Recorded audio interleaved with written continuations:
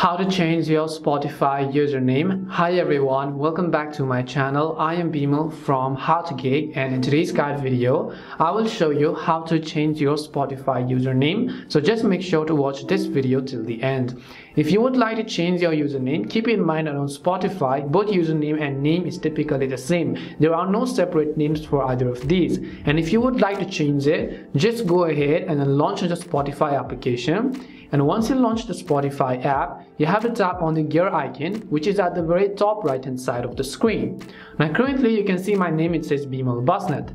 And if I want to change it, I would have to tap on the view profile option. And as I do that, you can find the option called edit. So just tap on the edit button. And right over here, you'll be able to see your current name. If you'd like to change it, enter the new name that you would like to use over here. So once you enter the new name that you would like to use in this case, what you want to do is just tap on the save option from the top right hand side. It says that this could be your first name or a nickname and it is how you will appear on Spotify. And once you do that, tap on the save option from the top right hand side and as soon as you've done that, you can see it says saving your changes and now you can see that we have successfully went ahead and then actually changed our name on Spotify. That's all it takes to change your Spotify username. We hope the video was really helpful and if it did help you, make sure to leave a like and subscribe to our channel. If you have got any more questions, feel free to also leave them down. Thank you very much for watching till the end and see you soon in our next video.